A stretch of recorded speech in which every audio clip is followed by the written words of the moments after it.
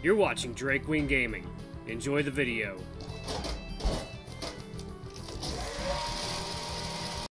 Hey guys, Derry here from Drake Drakewing Gaming. Some of you know me on Twitter, The Gaming Dragon. Today I'm coming back at you another Let's Play episode of Lyre. Ooh, after that big reveal, after that big reveal of what happened last week, oh my god. Ugh. The king is dead, and Lord Luvun is being blamed. So he has, so Lyall is keeping him in a cell, very, very much for his own protection. So let's see what happens at this point, shall we? All right, guys, sit back and enjoy. Entertain you for the next 20 minutes, and let's jump right in. All righty. Reality slowly drifts in front of my face in a similar way to how a ray of sunshine would, would cast a red glow on the inside of your eyelids. Every day, waking up becomes harder and harder. Sometimes I can't even understand if this is a normal thing or if I'm just weak. I never was a morning person. Slowly, each of my five senses comes back to me. I immediately remember where I am and why I'm here. Usually when I wake up in a new or unfamiliar new or unfamiliar place, I'm struck with a bit of confusion before realizing where I am. It's different this time, though. This isn't like waking up in another person's house after spending the night with them. This is different because the events that led to it haunted my dreams. I knew I was going to wake up to this. Images of Raynar's body slumped onto the floor with soulless eyes invade my mind, but I try not to think about any of what any of that yet, as I'm not fully awake. I strain my eyes open wider and wipe the feeling of dried tears from my face. The stone bench that I'm lying down on is cold and smooth. Painfully, I sit up and look around. What I assumed to be a sack that I was laying that I was lying my head on was actually a pillow made from straw and a ragged cloth. There's a large tarp bundled up at the end of the bench, which I guess is supposed to be a blanket. I wasn't too cold last night, but I wish I had known that it was there. The cell wouldn't be too bad if the bed wasn't a giant slab of rock. I'm better off sleeping on the floor. The only window is a small hole busted into the wall that's, bar that's barred off. On the other side is a cell door that's locked with heavy chains. Along with that is straw laid over the floor and a few puddles of water. The shackles that I wore for a short time last night are laying there in a pile of straw. That's where they must have fallen after Lyall took them off of me. I get up from my sitting position and stand, stretching out my legs and arms. My clothes feel dusty, and any skin I have exposed feels dry and dirty. My hair feels messy, and I shake my head, letting it straighten itself before I haphazardly try, haphazardly tying back again. I don't really care about it looking nice anymore. I'd rather just not have any hair in my eyes. I'd cut it, but I have a feeling Lyall likes it too much. Lyall. He said he would come back for me, but he didn't say when. And I think about it, why has anything happened yet? Shouldn't someone have come down to see me now? Good or bad intentions? Oh shit, unless he told everyone you escaped. I sit back down on the slab of stone. My mind seems to be all over the place. I can't decide what to think about. I try to distract myself with other issues, but my thoughts always wander back to the worst place. Justice. Interesting. Raynar is dead. They all think I did it. Except Lyall, of course. I'm honestly surprised he doesn't think it's me, though. The body was freshly killed and I was the only one there. If only I could function better under stress. I can't believe this. If I wanted to kill Raynar, I probably would have planned it so I'm not standing there like an idiot when it happens. Shock really took me over there, and I also got got another one of those sudden headaches. If I get out of this, I need to get those checked out. Whatever they are caused by, it can't be good. Tapping my feet on the ground in front of me, I notice a chair that's been thrown against the wall. Its pieces are scattered all over the floor and look old and rotten. Who could have killed him? Several people come to mind, but when I think about it, I don't know what any of them are capable of. Nobody reasonable really comes to mind. There's one thing that I'm certain of, though. I was framed. Someone has it out for me, and I don't know who. I could sit here and rack my brain for hours, but I soon hear footsteps echoing down the damp hall. I don't get up from my seat until until until I really start to listen to the footsteps. They're extremely familiar. I jump up and run to the cell door. Lyall? He gets closer, and soon I can see him down the bend of the hall. Luvun! He approaches the door to the cell. There's a look of worry on his face, and I can tell he's been having a rough day. He probably has it worse than I do. I, limp, I limply reach my hand through one of the bars. He gets on his knees and takes it in his paw. I'm sorry, I should have come down sooner. I wasn't able to, though. Why not? His sad and tired eyes look up at mine, and I can see the stress. The entire kingdom is in shambles. Rumors are already beginning to spread throughout the town, and everyone thinks that you killed Raynar. It's only a matter of time before this spreads throughout the rest of the North. I figured that would happen. Has anything worse happened? No, but the worst is yet to come. Everyone is scared, confused, and furious. I and several others were up half the night with Liz trying to wrap our heads around it. Others? Yes. Anyone who was a witness and several other officials. The prince joined us halfway through. How is he taking it? Not well. The bell started ringing and he locked himself in his room after finding out. He didn't even want to see the body, but to be honest, I wouldn't want to see it either if I were him. One of the guards told me that he could hear sobbing and things being thrown around the room. Oh, God. He probably thinks I did it. I wouldn't blame him, but I really don't need more reasons for him to hate me right now. He joined us about an hour later. Not before kicking over your chair, of course. I can imagine that. Well, he can honestly be forgiven for losing his temper. Agreed. He had enough stability to contribute to our little debate last night, however. What has been discussed so far? He sits down in front of the cell door and leans his head back against the wall. I do the same, finding a nice pile of straw to sit down on. Well, mostly trying to figure out what we're going to do next. Laying our kingdom to laying our king to rest was one of the topics. It should be taken care of soon. I still can't believe he's dead. Neither can I. He wanted to be buried next to his wife. Behind the gardens? Yeah. How did you know where she's buried? I was taking a walk through the gardens after we visited the village when I happened upon the grave. Raynar was there and we talked for a bit. You came back to my room drunk that you came back to my room drunk that night, so I didn't tell you so I didn't get to tell you. Yeah. He was paying his respects and I caught him in a bit of a vulnerable moment. After that we just talked for a bit. He went he went there every month. Right now they're already making the arrangements to have him buried there. The biggest topic was what this means. Some see this as an act of war, but I doubt that. I feel there's something far more sinister at play. I feel the same way. Given the exchange of ambassadors was proposed by the Kingdom of Erin, Prince Adrius thinks you were here. You were sent to cause chaos and weaken Lyre. That's ridiculous! Erin would never dream of starting conflict between the kingdoms. Why would they want a war with Lyre and Driss? That's not what they're thinking. A majority of people see this as an attack on Lyre from both kingdoms. What? They have reasons to suspect that Driss is a part of this plot. The Kingdom of Lyre has been becoming more and more isolated over the years. Trade has been slowing down, and they have been they have suspicions that Erin and Driss are trying to seize control to benefit themselves. At least that's what I heard. I'm not a politician. This doesn't make any sense. Seize control? Improving relations between the kingdoms is the desirable outcome, simply due to the fact that all the kingdoms would benefit equally. Starting a conflict, let alone a full-on war, would be detrimental to the entirety of Tigran. No. I don't think that's what's happening. Neither do I. It just doesn't make any sense. Either way, even though Lord Kadaj was appointed Minister of Foreign Relations, Prince Adrius considers him a political hostage. Nothing too serious has been decided yet, considering Driss is only under suspicion of collusion. I assure you, I haven't been scheming with Kadaj. I know. Trust me, Luvun. I believe you. I can't help but remember the conversation that Kadaj and I had the other day. They fear that Lyre is falling out of touch with the rest of the kingdoms. So it's true. The kingdoms do fear that Lyre is falling out of touch. Even some of the citizens of Lyre feel this, feel this way. But he said his goal was to bring stability. So he couldn't have had a hand in this. Could he? I don't remember seeing him before I left the party last night. Thankfully, Liz somewhat agrees with me. Really? Yes. She also believes that there's something far more complex going on here. The only bad part is she's still conflicted on whether she thinks you're the one who did it or not. It makes sense, she doesn't really know me. And anything she does know would definitely be confusing. I tried to convince all of them that you were just in the wrong place at the wrong time, that you were framed. What did they think of that? Liz seems to consider it as a possibility. Prince Adrius is currently blinded by hatred, but in the near future I can see him considering it as well. I doubt that. It's nice to hear him. It's nice to hear I'm not as completely guilty yet. Each moment we continue to talk about this, and every second I learn what's happening, I get more and more stressed. There's another thing. He sits up a bit and leans toward the cell door. We have a lot more information considering the scene of the murder.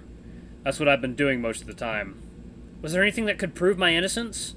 Nothing yet, but there has been some very helpful insight. Like what? Well, the first thing, well, first thing, there's the body. He was stabbed twice in the stomach, once in the chest, and then most likely had his throat slit to finish the job. Raynar was most likely caught off guard. His antlers tore through the drapes after getting caught in a struggle. We found flakes of gold stuck on the cloth next to the rips. They're from the antler that, that he decorated for the ball. I feel my insides twist around a bit as I recall the image of the room. Yes, that's interesting, but there are there any important revelations? Yes, there is. The guards confirmed to us the people had been in the room around the time before his death. Who else was there? The guards posted outside of the staircase that leads up to the tower to his room confirmed that four people had been in there around that time. One of the guards, Bjorn, Lord Kadaj, you, and of course, Raynar. With Bjorn going in and out within the hour. I knew it. What? Kadaj wasn't at the party when he left, was it? When we left, was he? I don't remember seeing him. I think he and Raynar must have slipped out early. Maybe to take care of something similar to what he had in mind with me. That is most likely what happened. We questioned him a little last night, and he said he was handling some important businesses business with Raynar. Official questioning hasn't begun yet, but maybe he knows what happened. Or maybe... He leans forward in interest. What? Maybe he had a hand in it. His eyes gleam with shock at first, but I see his thoughts and watch as he considers the possibility as if he's already done it before. Even I, even I have to admit it's not something I would want to believe, but given the things he said in the past, it's not far off. He alluded to events going in an undesirable direction after the winter solstice. Lau speaks up. It's not impossible. Bjorn is currently giving his full report to Liz, so we'll find out soon, I guess. But yes, it's completely possible for him to have done it. Do you think he did it? Like Lyall said, it's possible, but I don't want to believe it. Bjorn could have done it too. Are we sure no one else was in there that night? Positive. Not only do we have Bjorn's brief report, but several canines, including myself, um, sniffed the room. Oh yeah, that would be helpful. I forgot you could do that. It's funny to imagine Lyall with his nose pressed to the ground, sniffing like a bloodhound. I doubt that's how he did it, though. You, yes. And we only picked up the scent of four people. Those are the people who were noted. Damn. There goes my hopes of it being someone else. There's a long silence before I finally answer his question from before. You asked if I think it's him. The thing is, I don't want it to be, but it definitely could be. I agree. But I thought you didn't trust him, or at the very least didn't like him. He slumps down lower in his sitting position. I didn't trust him because I saw him as a man with a motive. Someone who wanted to climb the ranks. But I never would have imagined he would do something like this. He pinches a part of his muzzle between his eyes and runs a paw over his head. I too want to believe that it wasn't him, but only because it would mean Driss has nothing to do with this. He lowers his paws and looks at the floor. That would leave Bjorn. If it was him, that would mean it's not a foreign attack, which would make this much more complicated. But I also don't think it could be him. He's always been a beast, but his devotion to this kingdom is unchallenged. I guess that makes sense. Still, it has to be one of them. Unless... What is it? Adrius. What if he... It's not out of the question, but it's extremely improbable. Especially with the evidence we have so far. What if it was... Patricide? What? What are you saying? You know what patricide is, right? Of course I know what patricide is. You think Adrius killed his dad? I shrug my shoulders. It's not an impossibility. He wasn't in the room at the time, though. I know. He was out in the village last night. I saw him by the fountain. Lyall thinks for a moment. That explains why the exit to the tunnel was unlocked. But still, you said it yourself. He wasn't even there. You don't have to be in the same room with someone to have them killed. Even so, we don't know if he wasn't out there the whole night. We don't know if he was out there the whole night. What would the mo what motive would he have? He says this in a hushed whisper, annoyance in his voice. Not everyone needs a motive, but his is easy to figure out. Luvun, I... He cuts himself off and thinks for a moment. Don't you think you're being a little biased? No! I mean, we have to consider all possibilities. He looks down at the ground and wrinkles his snout. I understand what you're saying. And I know you also don't like him. I know he doesn't like you, too. Hell, even I'm not particularly fond of him. Lately they, lately, they may have been a bit distant or short with each other due to stress, but you've only been here a month. You haven't seen their full relationship. He loved his father. And his father loved him. He bites his lip a bit, but continues. Last night he was enraged. He was going through so many emotions, and they all felt genuine. And you know how I'm a good judge on these things. I know, I just thought I would throw it out there. I just had this feeling that it might be true. Why? I don't know for sure.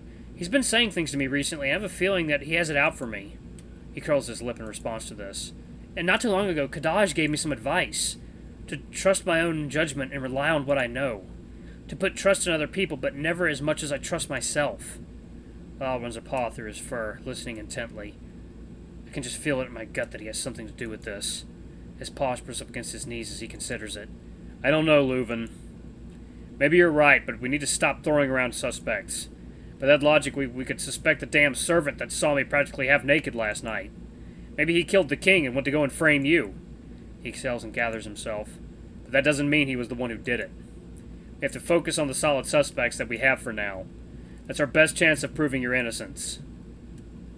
Suddenly a sharp pain shoots through my body straight up to my head. Shouldn't we be considering all of our options? My life depends on this! I shout, it, I shout this at him, the searing pain taking over. This upsets him, and once the pain is gone, I instantly regret it. I'm sorry, Lyall. I didn't mean to yell at you, I just...